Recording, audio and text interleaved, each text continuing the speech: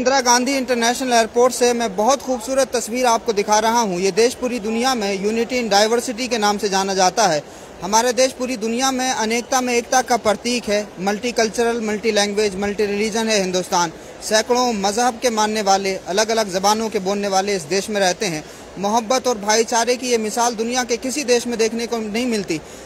इस वक्त मैं आपको जो तस्वीर दिखा रहा हूँ, बहुत ही खूबसूरत तस्वीर है।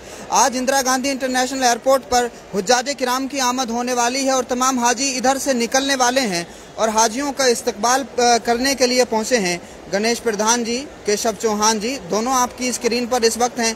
मैं दोनों को मुबारकबाद पेश करता हूँ। ये देश ऐसा है कि अगर यहाँ दिवाली होती है तो मुसलमानों के यहाँ मिठाइयाँ जाती हैं। और उसी तरह से जब ईद होती है तो सिवैयाँ खाने के लिए हमारे हिंदू भाई आते हैं। यह ऐसा खूबसूरत देश है, यह ऐसा प्यारा देश है। सबसे पहले तो मैं आपसे जानना चाहूँगा, आप यहाँ स्वागत करने के लिए आए हैं लोगों का, क्या भावनाएँ हैं सर आपकी? हिंदुस्तान के अंदर जब हमारे सावन महीना या कोई भी त्यौहार होता है, आप लोग भैया हमारे सावन में अभी भोले का कावड़िया आए थे तो इतनी श्रद्धा भाव से हमारी सेवाएँ की तो हमारा भी फ़र्ज़ बनता है कि हम भी इतने हद से आ रहे हैं तो हम भी उनकी सेवाएँ करें। हमारे मन में एक भावना जगी इतनी दूर से आते हैं वे भी अपने हज यात्रा करके आ रहे हैं तो हम भी एक बार सेवा का मौका दें हमें भी। जी बहुत अच्छा।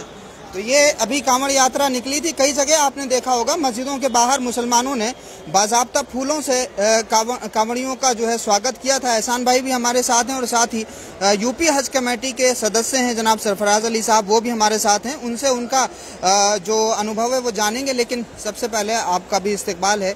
जनाब क्या कहना चाहेंगे? मैं तो जो हमारे जो भारतवर्ष की जितनी खूबसूरती है, जो हमारे आपस में जो मेल है, जो हमारे, चाहे हिंदू हो, चाहे मुस्लिम हो, चाहे सिख हो, चाहे ईसाई हो, हम सारे भाई भाई हैं। उसी तरह से हम एक साथ, में अपने प्यार बांटने आए हैं और कुछ नहीं है। आपस में हम प्यार बांटेंगे बस। कंपोजिट कल्चर है ना हमारे देश में, ये गंगा जमनी तहजीब का कल्चर है। गंगा पूरे देश को ये बताती है कि गंगा से हमारे जो हिंदू भाई हैं वो स्नान करते हैं। सिखों के लंगर में गंगा का पानी इस्तेमाल होता है और उसी गंगा के पानी से मुसलमान वज़ू करके नमाज़ पढ़ लेते हैं सरफराज साहब। क्या कहना चाहेंगे आप इन भाइयों को यहाँ लेकर के आए हैं? और इन्होंने, आपने बताया कि इन्होंने खुद इच्छा ज़ाहिर की कि हम अपने हाजी भाइयों का इस्तेबाल करना चाहते हैं। क्या कहना चाहेंगे? मैं बहुत खुश हूँ कि गंगा जमुनी तहजीब हमारे हिंदुस्तान में देखने के लिए मिलती है। ख़ास तौर से मेरे साथ नोएडा से आए, हमारे इस्कान मंदिर से हैं गणेश प्रधान जी और केशव चौहान जी।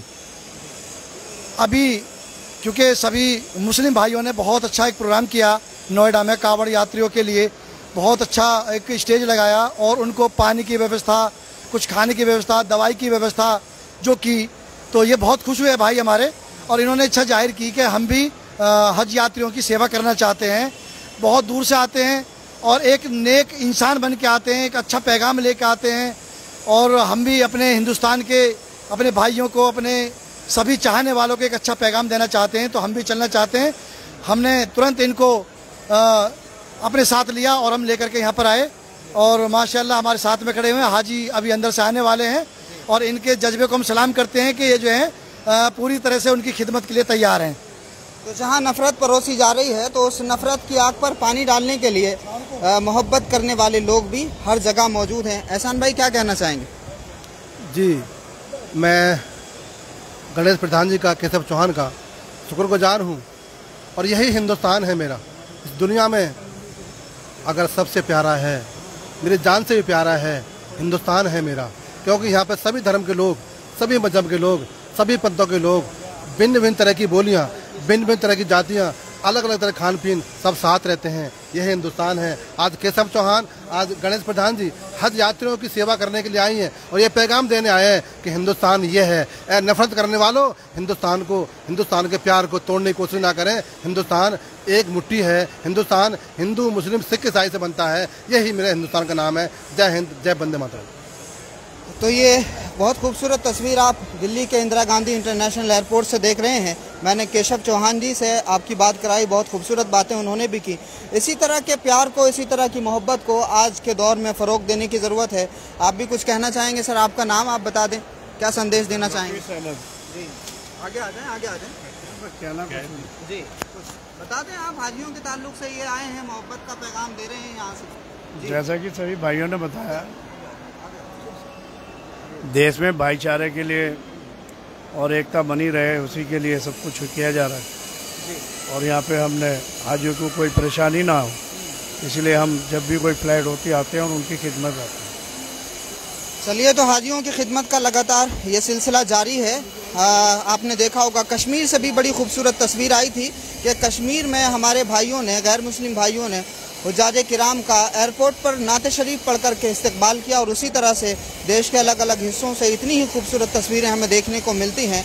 तो परेशान होने की ज़रूरत नहीं है और हौसला तोड़ने की ज़रूरत नहीं है। इन जैसी तस्वीरों से हमेशा हमें ताकत मिलती है। मोहब्बत और भाईचारे को हमेशा फ़रोग मिलता है। बहुत शुक्रिया हमारे साथ जुड़ने के लिए। इन तस्वीरों को ज़रूर लोगों के साथ साझा करें। वालेकुम